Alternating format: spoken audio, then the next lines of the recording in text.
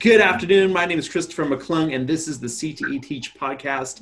And I'm your moderator for this podcast. And we are discussing um, what we did as far as creating a hybrid training session for all of our brand new teachers last week. And so we thought it would be cool for us to get together, share some resources of how we did a, a both in person and online training, and just all the nuts and bolts of that. But first, I have a fantastic panelists with me um, who were influential in building and helping us develop this training. And so I'm going to ask them, go around if you could tell us your name, what you do. And last week, our training was based on a circus theme. So I'm going to ask you to also please add, what would your circus talent be if you were a performer in the circus? And then we'll start um, with James, and then we'll just kind of let you guys go through, um, go around. So, James, the floor is yours. Hi, my name is James Hattar. I am one of the community recruiters, teachers on assignment uh, with the Colton Redlands Yucaipa ROP. And my circus talent would be the musician in the background. I'm going to take it from James. I'm David Allman, also a community recruiter, teacher on assignment. And my circus talent, lion tamer. I will go. My name is Ellen Sampong. I'm a curriculum developer I'm also a teacher on assignment. And um, let's see, um, the tightrope rope walker. Okay. Uh, my name is Kathleen Quiggle. I support, I'm the program support specialist for Ed Services. I support everyone in Ed Services, specifically CTE Teach and um, TIP and Melissa Dix, all of it. Um, my my job would probably be uh, the clown. I just laugh. I mean, I always laugh. I get nervous, I laugh, so it would have to be that. Awesome. And hi, everyone. My name is Alex Becerra. I'm an instructional technology facilitator here at CRYROP. And then my talent would be strongman, just because I like to lift things and drop them. Nice and welcome back, Alex. Alex, this is actually your third time on here now, so it's good to have you back again. So I want to do more of the question asking and less of the of the talking. So let's kind of start at the beginning, and I'll let you guys feel free to jump in where, where you where you want to. What what was the what was what was this training and and what did we do? Whoever wants to to hop in there. So this was our three-day TIP teacher induction program for new teachers to CRYROP. They were here all three days, and our second year teachers joined on days two and three. So it's a real deep dive introduction, immersion for them into all things CRYROP, all things CTE, all things ROP, and just to give them some introduction to a lot of things they're going to hear and kind of set them off in the year on the right foot and also partnerships and building relationships that they're going to be able to utilize. Mm-hmm. Awesome. And Ellen, how would you say what was the basically the room setup? So we had 19 teachers. Um, how would you how was the rooms set up and how was that accomplished in the world of COVID we live in? How did we accomplish putting 19 teachers together for a three day training? So the way the room was set up was that we had three separate rooms. And within each room, we had about seven teachers all spaced out, um, probably more than six foot apart, really. Mm-hmm. And each teacher had their own supplies, their own snacks. We don't want to forget that. And um, and their own laptops. And so um, each room also had its own um, screen. And so teachers could actually see um, whatever lectures was, were going on on the screen. Now, there was also a separate room apart. So there was a fourth room, which was separate and apart from the teachers. And in that room, that room was used as a recording studio of some sort. And um, so basically, if, if a teacher came, well, not if, the teachers who came to, to, to, you know, tell the other teachers about the experiences would actually record in this room and then um, through Zoom, all the other rooms will then have um, the ability to listen to the lecture and, and even participate, which is really, really exciting because um, a lot of the new teachers were really, really excited because they could participate. Um, and then, since this was all via Zoom, um, also we had um, some speakers doing it from home as well. Um, and so it was just really exciting. It really was. It, and it was very seamless. Yeah. Yeah. Yeah. And so we had, um, yeah. So just as Ellen said, we had three rooms, six teachers in each room, and then one room that was for presenting only.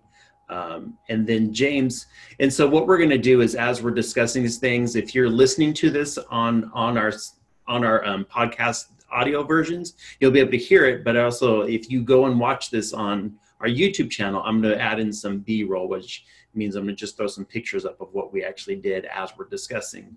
But James, can you talk to maybe the technical side as far as how the presenting room was set up? Yeah, sure. So basically, everybody was in the same building. We had the 19 teachers in the same building, only separated in three separate rooms. And as Ellen mentioned, uh, with safe distancing between each table, so each uh, teacher had their own table.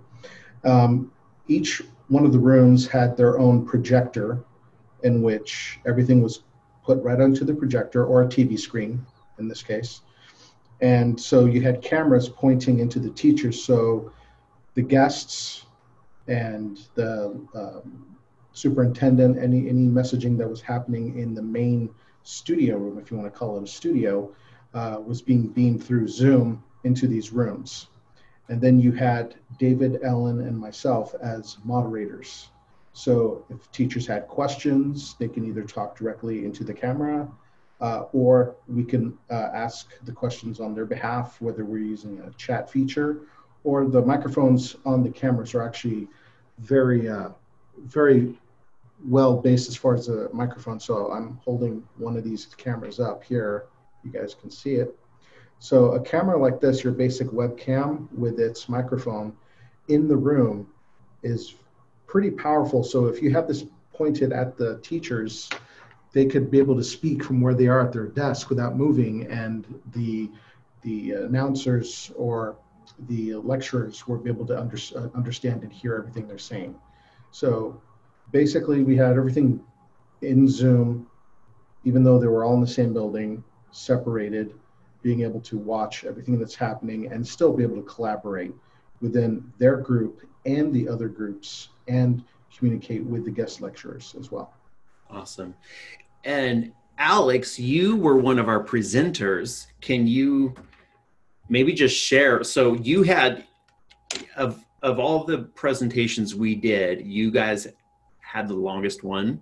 So and you get so much so that you added in a couple breaks with yours. So maybe can you just share like what was it like? So the so the way the way the presenting maybe discuss like what the presenting room was like, how you went about that, and what it was like trying to present and teach teachers who were watching you from three separate rooms in a totally different building here on campus.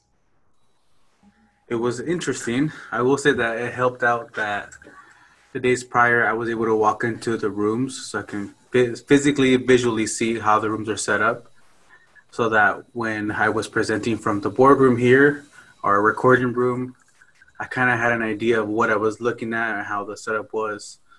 But it was definitely interesting. And mm-hmm. I missed your other question. I'm sorry. Just what what was your maybe some of the challenges or some of the um, just what was the experience like like having to see your presentation on the screen but the, but still trying to interact with them well, a big challenge was you're talk, kind of talking to a webcam and a big screen, and you, you don't really see the teacher's expressions as you would if it was a, a actual physical presentation. You can see if they look lost. It's really hard for you to gauge whether or not they're following along or if they look bored.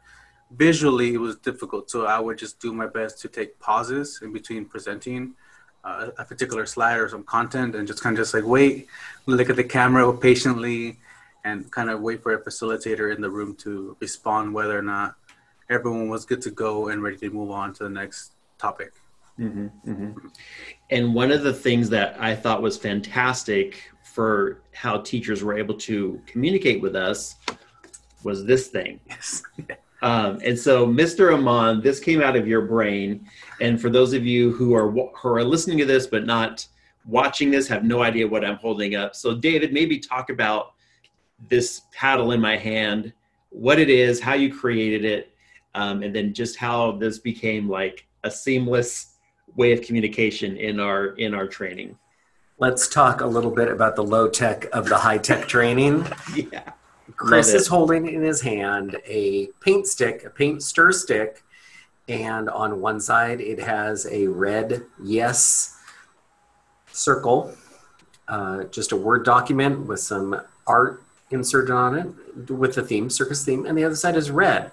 So think of it like a signaling paddle, Mhm. and it was used for a, an icebreaker on the first day just to show how you could get some consensus in the classroom or how you could do some informal assessment.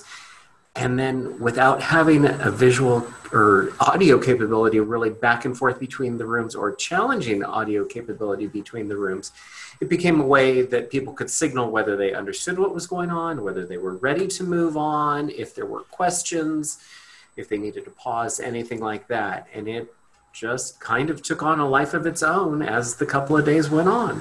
hmm Yeah, it was really it was great because I know like Alex, you would ask like, "Hey, did you guys hear that? Did you guys understand that?" And then everybody would hold up their paddles like yes or no, and it became a really quick like, oh, "Okay, cool, they got it," um, without having to unmute and and all that stuff. So.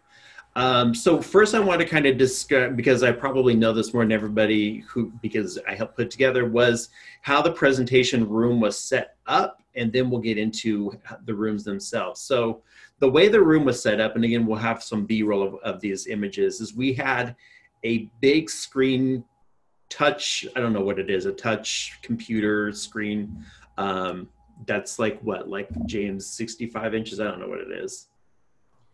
Yeah, it's about 65 to 75 inch. It's it's a basically a tablet that's as big as a HD TV screen, Yeah.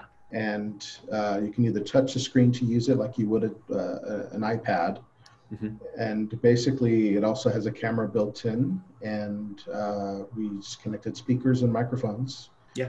And basically, you set it up like you would a computer, only when you're presenting, it becomes very helpful as you're watching all the rooms. So Yeah. you can kind of get a gauge of the audience and so on. Yeah, exactly. So that's what we had is we had we were running Zoom off this big 65 inch T monitor, essentially is what it is, and it runs just like a normal computer. And then we set up a Yeti microphone, which um, which allowed for the audio to kind of be broad for um, anybody who's standing in front of it. Then we put some some studio lights up, which um, help with the with pe- being able to see who was presenting. And then we used at first we tried to use a normal webcam, um, but then found out really quick that you had to stand like this close, uh, really close for anybody to be able to see you. And if it was if you were too far away, they couldn't really see you that well. So then one of our other IT, our instructional technology facilitators, um, Rudy grabbed a conference camera out of the closet, which gave us that really wide um, angle so that you could see the person literally from top to bottom, um, head to foot. And so that I felt that worked really well. And then, like we said, we kind of did that and presented it through Zoom to the three rooms, and that was just the the setup. And like I said, we'll we'll show some B-roll of those images. But now I wanted to ask, and then we're going to get to you in a sec, Kathy. Um, Kathy, um, now I want to ask is once our presenters were presenting, and they they each had their own laptop in the room. You three that were in the rooms moderating, what was what was the the collaboration like? What was the the I guess the attitudes or the the personality of the rooms one, with all of this going on.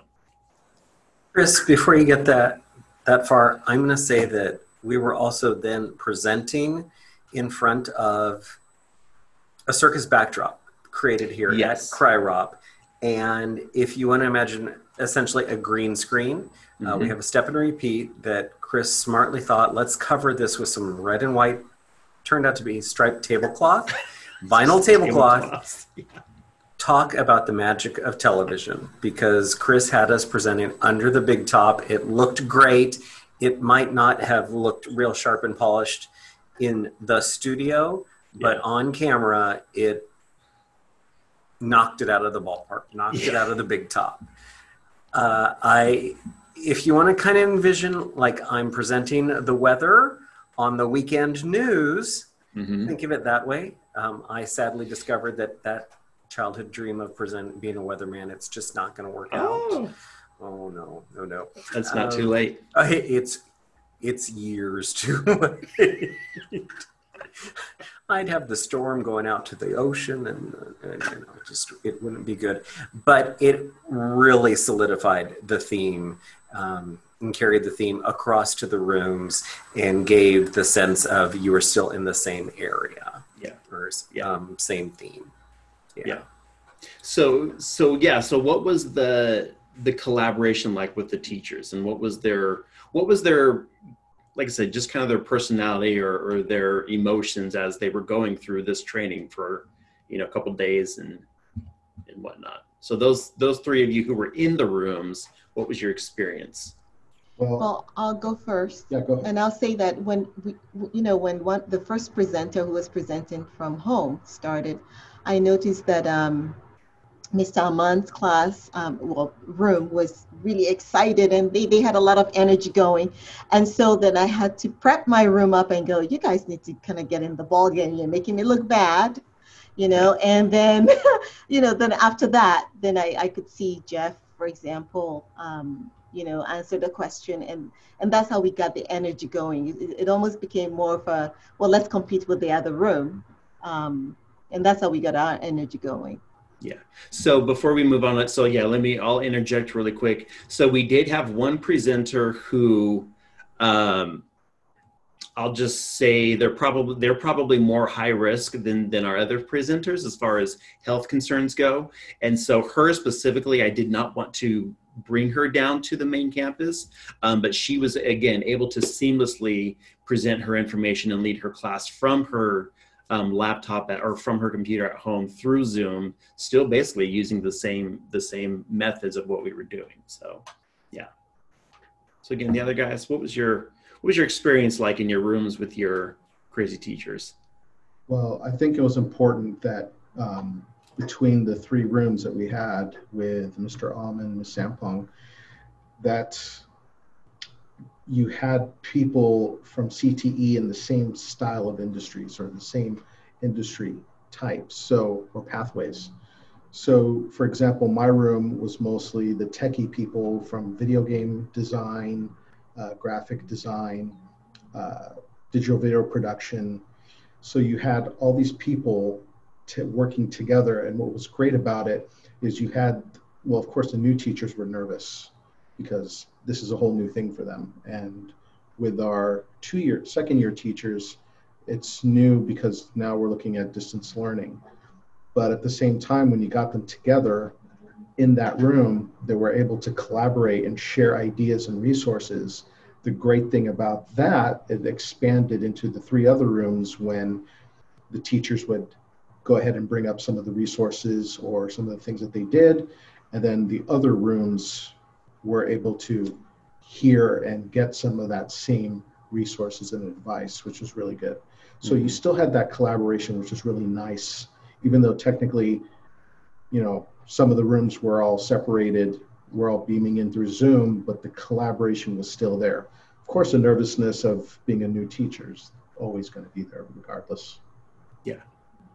And how about you, David? I would say you probably had the most rambunctious room. How was how was your room? Really? I Um, loved them. They were they anytime you said something or did did a magic trick, like they were just laughing and yeah, they were a lot of fun. They, well, I think I had to kind of put on that old teacher hat of how am I, how am I going to keep them involved and stimulated and part of the Mhm. conversation. So maybe I was doing some of those teacher tricks, but I think I also had some people who were very active and at times were telling me, well, turn off the mute. We want to participate. So they were real anxious and wanted to be part of the conversation. So they, um, they had to teach me a couple things as well too, perhaps on the Zoom and the settings and the views as well too. So uh, some some give and take for sure, I'd say. Mm-hmm, mm-hmm. Well, and now that you mention that, that's what's interesting is I thought we would have to stay on mute the entire time we did this, and we found out really fast that we could just unmute, and the camera really wasn't picking up a whole lot as far as presenters go. Um, so, so that was cool. That's a good point. We we had rehearsed it a little bit, but mm-hmm. we found out some stuff early Tuesday morning into mid morning Tuesday morning that got us to do some things differently as well too. Mm-hmm. Mm-hmm. Yeah, that's true. I think it definitely helped uh, planning everything all in advance. So having IT together uh, with the setup and then being able to practice everything all at once. So making sure that room A was able to hear everything that was going on in room B and C and so on, and then back to the main uh, studio, if you want to call it that, and making sure that everything was working, sound was working, cameras were able to pick up people, and the microphones were able to pick up some of the voices and so on. So all, all that planning days in advance really was helpful. So it made the process smoother as it went along. Yeah. So if there were if there was any issues, which actually I don't recall any issues happening the day of or as the days progressed, that uh, we were able to solve it, you know, pretty quick because mm-hmm. we, we pretty much knew the whole uh, setup in advance. Yeah. So speaking of rooms, can do you guys want to discuss like how we maintained a clean atmosphere as well, sanitation and all that? Yeah. Um, so we went ahead and disinfected. We made sure that any tables that weren't originally from the room that we are using, that everything was sanitized. Uh, bef- you know, pretty much the day before and then the day after. So basically, uh, everything was sanitized. Every um, teacher who had a table had their own table, and they had their own set of hand sanitizers, masks, we had gloves, we had everything situated. We also had cleaning stations when they entered the room. So uh, we made sure that we sanitized before and then we sanitized after uh, each session. And then teachers, uh, whatever laptops they were uh, given, they stayed with the same laptop. So this way, no one else used their laptop, no one else used their bins, or anyone used any of their uh, utensils or tools that they had. Um, so that definitely helped. Of course, everyone was wearing masks, and and we had extra masks and gloves and anything else that they needed. Yeah. So all that in advance, it, it helped to make them comfortable. I didn't really hear any complaints or people really freaking out of the fact that they're in a room with maybe six people separated. So there was a lot of room. You definitely don't want to do this in a small space. Right. So you want to be able to move everything around so uh, basically, everybody felt really safe. The and this is where Kathy comes in. Lunches were individually boxed, so there was uh, nothing as far as sharing or touching other people's food. Um, so a lot of that comes into play. So I think I think everybody felt really comfortable the mm-hmm. whole time. Um, I know I did too. So it was it was good to have everybody together, and also at the same time, they felt that they were safe. It was a safe environment. Yeah. So huge applause, Miss Kathy. Thank you so much. Kathy, share with us how did you keep 30 people fed in the middle of COVID in person? What would you do? Uh, that that was really a challenge. Um, just communicating that with uh, vendors of uh, the restaurants, um,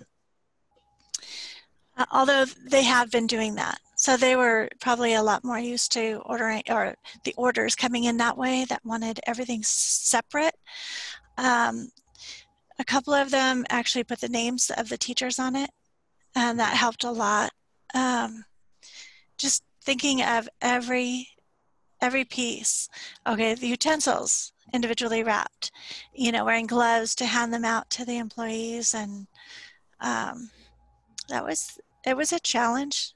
It was a Mhm. challenge. Um, in the past, we would just purchase trays and everybody could just get what they wanted. Didn't have to be so entailed.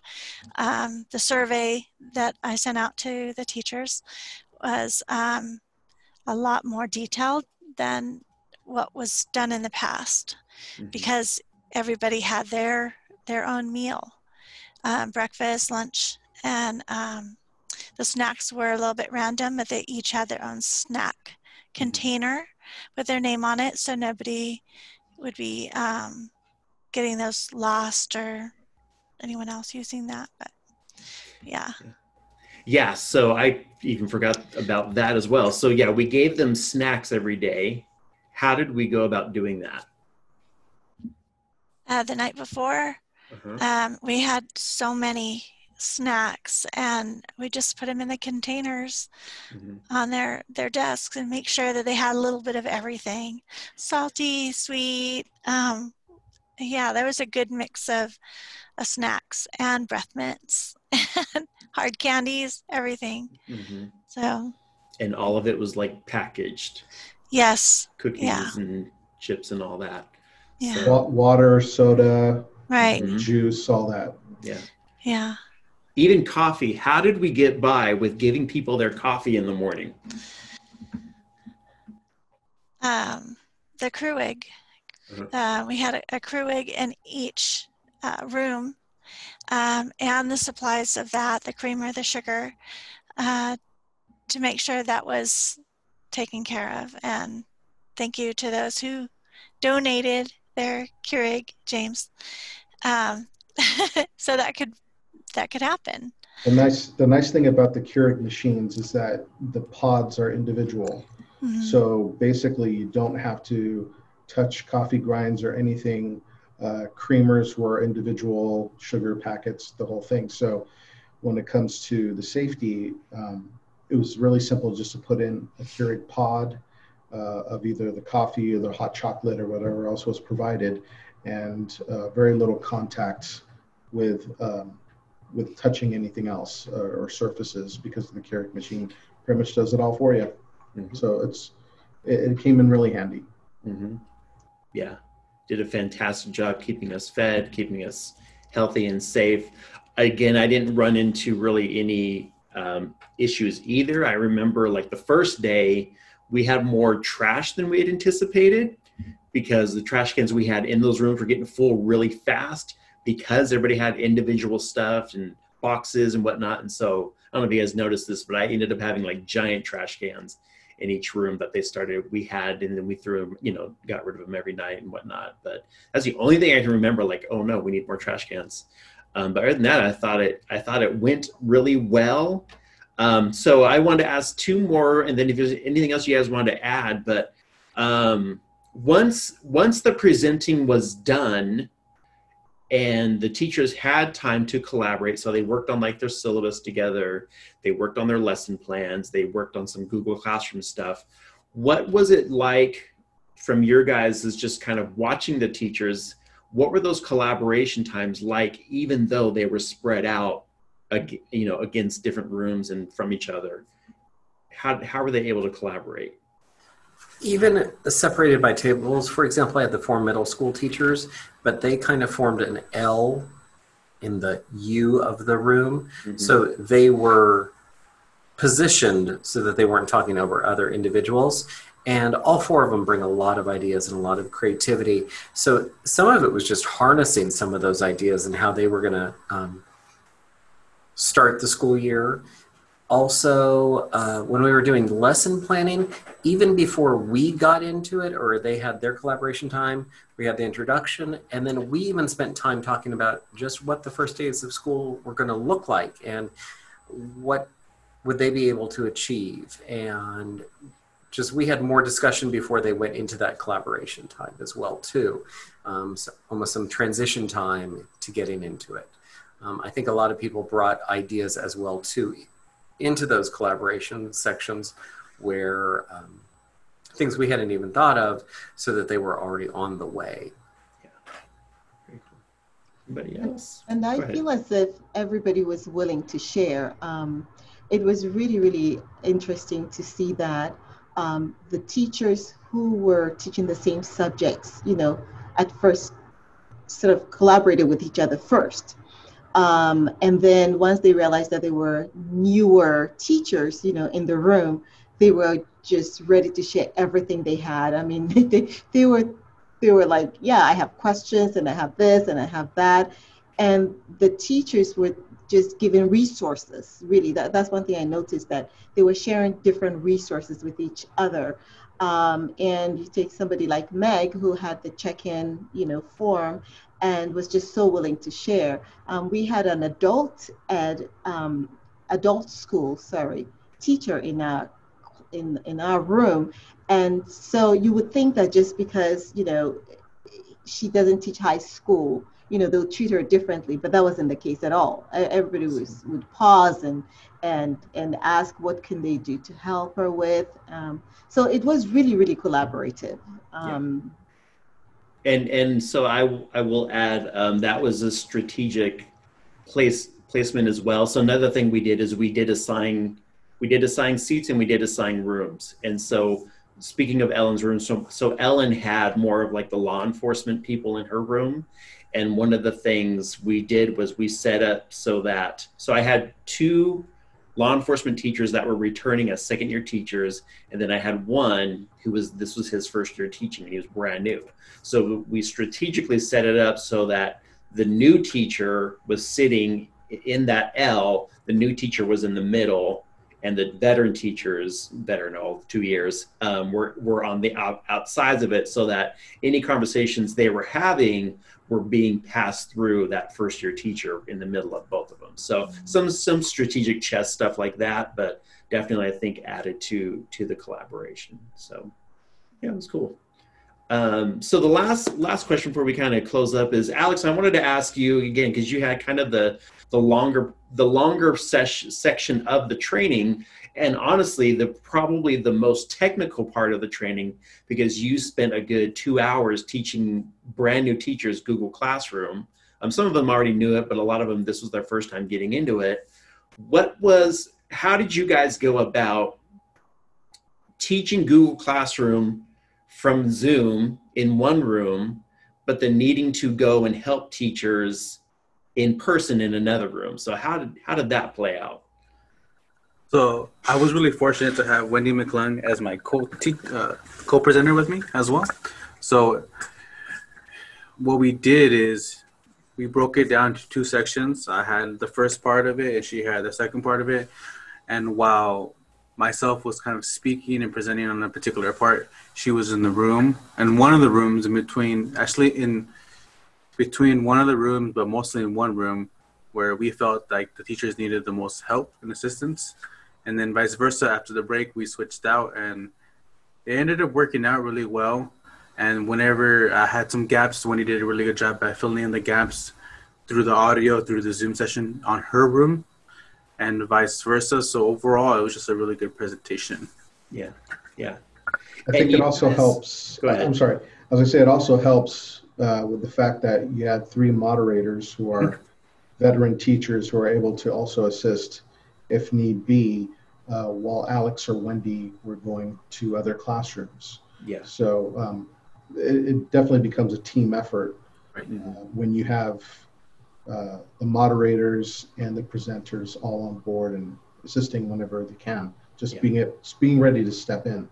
Mm-hmm. Yeah, that's a great point. And so, Alex, you guys presented your training the the morning of the third day. The second day, you guys came in and gave them a survey. And what? How did that survey aid in what you were teaching? That survey really gave us a better gauge of how how much experience each of the teachers have. And unfortunately, or fortunately, it was varied. so from that information, me and Wendy kind of had to take a step back and be like, okay, well, what's a, what's the best route to kind of better serve our teachers that we have in all different rooms? And for the most part, it was just still the game plan was to go to the presentation, just make sure to inform the teachers in the beginning that hey, we understand that some of you already are using Google Classroom, so this might be a refresher for you, but please be open to uh, supporting the other teachers in the room, and it ended up working out working out really well. Yeah. So yeah, very cool.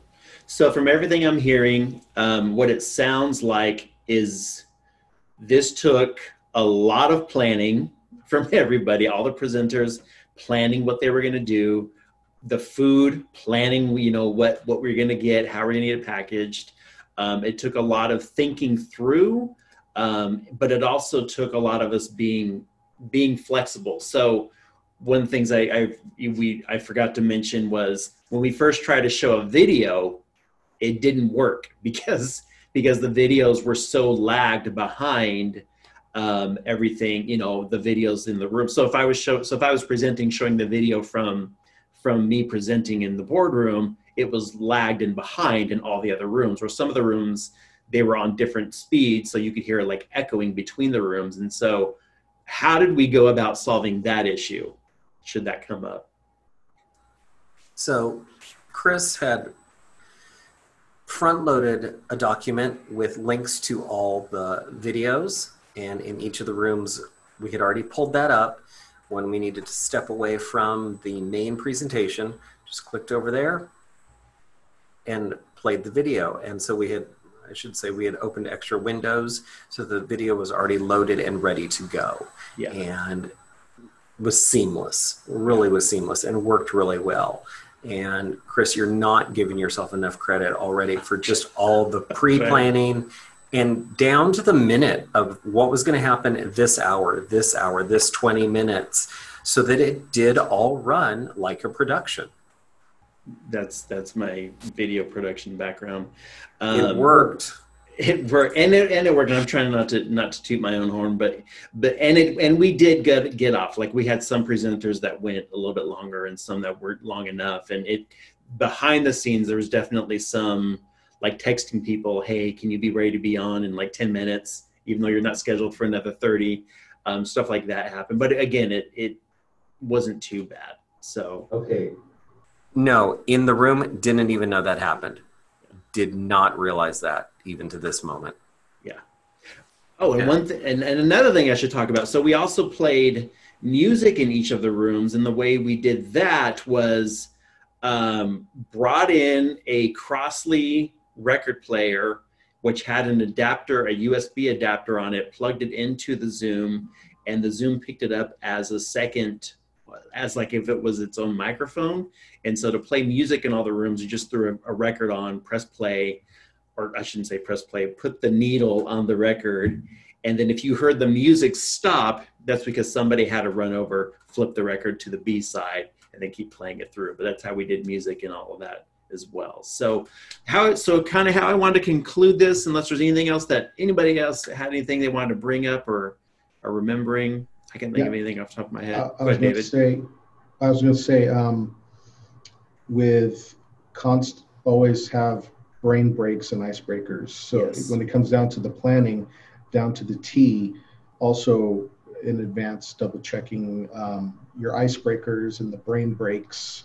Um, the breaks were very important, especially since mm-hmm.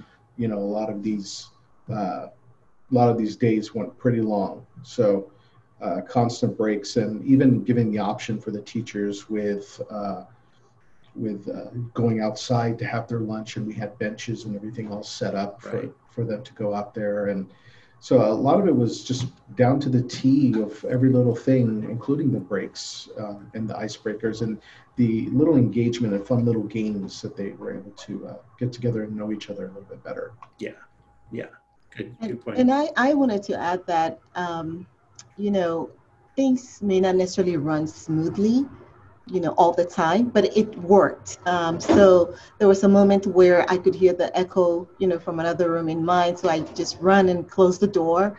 Um, there was a moment where a speaker had started speaking and the other room was still on mute, you know, so it was just a matter of running to the other room and telling them, you know, the speaker is back on. And mm-hmm. so don't worry about the little things. It, it really does work yeah. together. Um, and as, as long as you pre-plan some of the bigger stuff, um, you, you, it's it's just going to work well together. Um, just just everybody should just know to text each other or you know to just just get into the mix and and just resolve whatever they can resolve in the spur of the moment. Mm-hmm. And that's a great point. Thank you for saying that, Ellen. So yeah, we had everything planned, but we also had each other in a text box or whatnot you say on our phone so so i could text all three rooms say hey you know we're back on or you know can somebody jump over and do this or blah blah blah or or hey you know you're still muted blah blah blah so that I think helped. I think I remember one time I was unmuted and I was talking really loud. Um, and um, I believe James told me that, you know, there was a speaker presenter on. So, yeah. Well, and I had one faux pas as well. So, one of our teachers, uh, luckily, I've known that teacher since he was in junior high. And so I, I sent him a text. And what's funny is I sent him a text and I saw him look at his phone, but then not reply to me. But I could see all your all the rooms from Zoom, but I wasn't muted. So I'm like, this fool's ghosting me. You need to answer your text. But everybody could hear me saying that. And then I saw him look at the screen and then he looked at his phone and then replied back to me. And I was like, oops. So I was in the room with you, Chris. That was pretty funny. Yeah. It's like, oh, let's put him on blast in front of everybody. So, so kind of, I just kind of closing conversation on how I wanted to wrap up is, um, so we sent this out to all the teachers. Honestly, I had one teacher ask me, is this training going to be in person? And I said, yes. And then they replied, okay. And that was the only complaint, or I shouldn't even say it wasn't even a complaint. It was just a question. That was the only time anybody asked me, like, "Are we doing this in person, or are you doing this through Zoom?" And I said, "It's in person, but we're doing this hybrid thing." So, can you guys maybe speak to, and this is how we'll conclude it. What was what would you say the benefit of even doing some sort of hybrid thing like this? Like, why didn't we just do it through Zoom? Why did we bring teachers in and do this wonky? You know circus act of bringing everybody in. So maybe speak what was, what was the benefits of doing this in your guys' opinion? I think the fact that they got to meet each other in person whether it was passing in the hallway or they were in the same room at least the human connection. Mm-hmm. actually getting to see the person and know that they were not in this alone and it wasn't a head on a screen. Right. Yeah. Right yeah. Anybody else? I think it was also maybe it's, it's, the same, pretty much similar to what David just said, is the ability to exchange um, information um, amongst themselves. So I had teachers, new and new teachers in my room who were who who exchange information with, you know, I wouldn't say veteran teachers in David's room, and I'm not sure they would have been able to do that if this was not on ground. Mm-hmm. Mm-hmm. Yeah. Yeah. Plus, it was a different change of scenery with the constant Zoom meetings. And even though technically we were zooming in our presenters, our presenters were still technically on our campus and was still able to provide some support, whether it was Alex or Wendy, or even calling on some of our um, our old uh, uh, TOAs to come in from their other job to come in and do something like teach like a pirate. Mm-hmm. And uh, again, it's you know, from my from my point of view, being cooped up in the house as an educator um, gets you know a little stressful, probably some anxiety, and I think it was really good for especially our second year teachers not only to meet the new teachers but also feel like while I'm not stuck in home. And at the same time, we're safe and we're able to collaborate and meet new people. And at the same time, it was it was fun too, because a lot of people were having a good time while they were there. Um, just icebreakers that David uh, was doing. Uh, uh, brain breaks to get people off their feet um, instead of sitting the whole time and just moving around and get the blood flowing. Um, and it was it was a really good thing. And I think um, it, it makes it different than just sitting at your home watching it and not really feeling that sense of the community that everybody had that day or those three days. It was really good. Yeah. One and exchanging things... stories. I heard them exchanging stories as well. You know, stories about teaching, stories about home life, and that sort of thing. And I'm not sure that could have been done um, just I'm not sure that could have been done if it was just on Zoom. Mm-hmm. One of the sparks of joy of TIP is realizing that you're not in this journey alone and that there are others going through it as well too. And just garnering and getting little ideas about how to do things in your classroom. And I think with teachers entering a distance learning platform to begin the school year, they've seen two days of someone else teaching it or facilitating it and different things they can use and utilize in their online classroom as well too. And those little sparks or those little ideas will go out to three districts and countless classrooms and countless students. And that's the beauty and benefit of something like this and I want to say that at the end of it, one of the teachers turned around to me and said, You know, I've worked in many places, but I must say, I've never worked in a place where everyone is so warm and just so willing to help. And I think it's because of the little things that happened. I mean, that teacher had a thumb drive, didn't know how he was going to pull the information up. And so, you know, running to another room and trying to start another computer, um, another teacher's lunch, you know, thought we thought we hadn't ordered the right lunch, but just running around and rushing around and trying to figure out, you know, how to help that teacher. And so I feel that it would have been difficult to communicate our mission statement of helping teachers mm-hmm. if we had done this ex- just on Zoom. It, yeah. it, all these little things help give them that sense of security that we're always here to help you and that it's not just something that we preach, but something we really practice. Well said. Well Same said. time, they also got to meet not just the TOAs, but they also got to meet the people from staff from other departments IT, human resources, educational services, business office. So they got to meet and, you know, not just see a name to a face, but also get to meet them in person at the same time understand what these different departments do and how they, can benefit them and, and serve them while they're uh, off site at their school campuses and then be able to know who to reach out to if they need to. Yeah, that's true. All right. Well, very cool. Again, yeah. So it's just that human connection is never lost. So um, it's always powerful. So that's it. Um, thank you guys so much for being a part of this. My hat's off to you. Kudos. Thank you so much. You guys are rock stars and pillars for everything that we do. So we had this one down. We only have like 10 more to go for the rest of the year to, to plan out. Um, and other than that, thank you for those of you who are watching and listening. Thank you so much for, for checking out this uh, CTE Teach podcast hybrid uh, PD and how we did it. And I would encourage you, um, just follow us on Twitter. We are at CTE underscore teach. And you can also listen to us on multiple podcast channels, including Spotify, iTunes, and SoundCloud, and obviously watch us on YouTube. So thank you. Feel free to contact us with any questions you have, um, any ideas that you might have. Please leave them in the comments. Don't forget to like and subscribe.